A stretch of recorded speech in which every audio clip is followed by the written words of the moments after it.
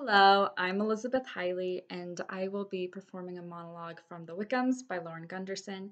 The character is Cassie.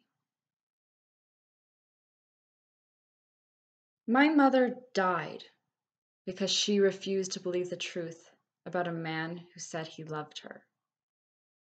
Over and over he said it, and over and over she believed him. But when we were of no more use to him, he abandoned us with nothing. I always wonder what her life might have been had she realized not every word he said was honest, that she had a truth in herself as well.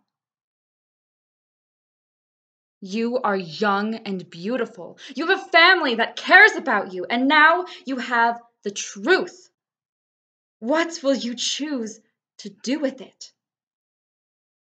Thank you.